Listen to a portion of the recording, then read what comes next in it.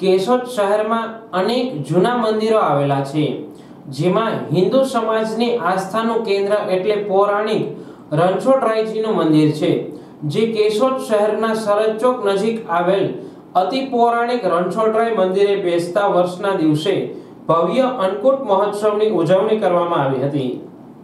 જેમાં ભગવાનને મીઠાઈ અને ફરસાણ જેવા વ્યંજનોનો ભોગ લગાવવામાં આવ્યો હતો. આ મીઠાઈ ફરસાણ વ્યંજનો કેશોદની શ્રદ્ધા ધરાવતી તમામ જ્ઞાતિની બહેનોએ બનાવી ધન્યતા અનુભવી હતી. આ ધાર્મિક તહેવાર ઉજવણી પ્રસંગે મોટી સંખ્યામાં ભાઈઓ બહેનોએ હાજર રહી અન્નકોટનો દર્શન અને મહાપ્રસાદનો લાભ લીધો હતો. આ તકે મંદિર પૂજારી બલરામદાસ બાપુ અને મંદિર ટ્રસ્ટીઓ દ્વારા દાતાઓ અને દર્શને આવતા ભાવિકો પ્રત્યે આભારની લાગણી વ્યક્ત કરી હતી.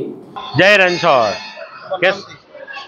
નરેન્દ્રભાઈ પાગડાર કેશોદની ધાર્મિક જનતા માટે દિવાળીના બીજા દિવસે અહીં અતિ પ્રાચીન આપણું જે પૌરાણિક મંદિર છે રણછોડાઈજી મહારાજનું મંદિર, તેના દિવાળીના બીજા દિવસે અન્નકોટનું આયોજન થાય છે વર્ષોથી પરંપરાગત રીતે.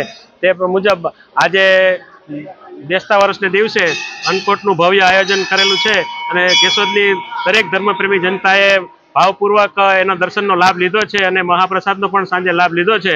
એના માટે કેશોદની ધર્મપ્રેમી જનતાના દરેક દાતાશ્રીઓનો અને ધર્મપ્રેમી જનતાનો રણછોડાઈજી મંદિર વતી ટ્રસ્ટીગણ અને બાપુ બલરામદાસજી વતી બધાનો ધાર્મિક વિધિનો જે આ આયોજન કરેલ છે સાથ સહકાર આપેલ છે, એના માટે હાર્દિક આભાર માનીએ છીએ. કેશોદ શહેરના અનેક ધાર્મિક પ્રસંગો આ મંદિર, મંદિરે ઉજવવામાં આવે છે. તમામ સગવડતાઓ સાથેની આ વ્યવસ્થા હોવાથી શહેરીજનો પણ સામાજિક, ધાર્મિક પ્રસંગો અહીં ઉજવે છે. શહેરને લાગુ પડતી કોઈ પણ પ્રકારની સમસ્યા માટેની બેઠક પણ આ મંદિરે શહેરીજનો યોજી રહ્યા છે. જેથી આ મંદિર શહેરીજનો માટે આસ્થા અને શ્રદ્ધાનું કેન્દ્ર છે. ટ્રસ્ટીઓ અને પૂજારી દ્વારા ખૂબ જ આવકાર મળતો હોવાથી લોકો પણ કાયમી માટે મોટી સંખ્યામાં દર્શને આવતા હોય છે. બેસતા વર્ષના દિવસે અન્નકૂટના દર્શન સાથે મહાપ્રસાદનો લાભ લઈ શહેરીજનો ધન્યતા અનુભવે છે.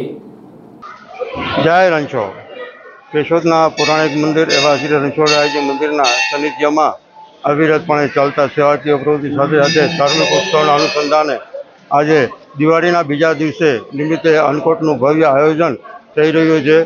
તેમાં બહોળી સંખ્યામાં લોકો, ભાવિકો, દર્શનનો લાભ રહ્યા છે અને સાંજે સાડા આઠ વાગે પ્રસાદનો અવિરતપણે પ્રવાહ ચાલુ રહેશે અને પ્રસાદનું વિતરણ પણ ચાલુ રહેશે.